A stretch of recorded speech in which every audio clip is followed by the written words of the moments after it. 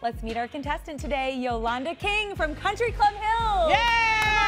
Yay! The South Come Suburbs over. are in the house. Here I am. Hey, How are girl. you? How's it So going? we're so glad that you're here. Here's why. You actually have a great story, an inspirational story that I think everyone has kind of struggled with.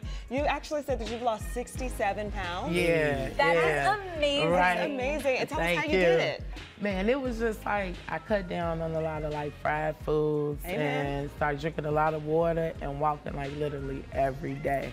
You know, and stuck to that and it just started falling Like off. walking That's how far? Yeah, like I was doing like three miles a day. Oh, that's crazy. Yeah, yeah. Like at first when I first started, it was hard, but came off. Yeah, yeah, that's so I love that. Thank Yolanda you. King, more like Yolanda Queen. Can I get Man, some?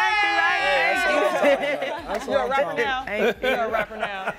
Okay, Jordan. What's the game we playing today? We are playing Trivia Tells, where we're actually going to ask you a question, and you're going to tell us which one of the three possible answers is correct. Okay. It's that Okay, simple. so let me kick it over to my guy. I So love him to death. over here. Hottest DJ in Chicago, DJ Mike P. What are we playing for? Stand. Hey, don't throw those signs up on So, we are playing today for an Amazon Echo show. Oh, there we go.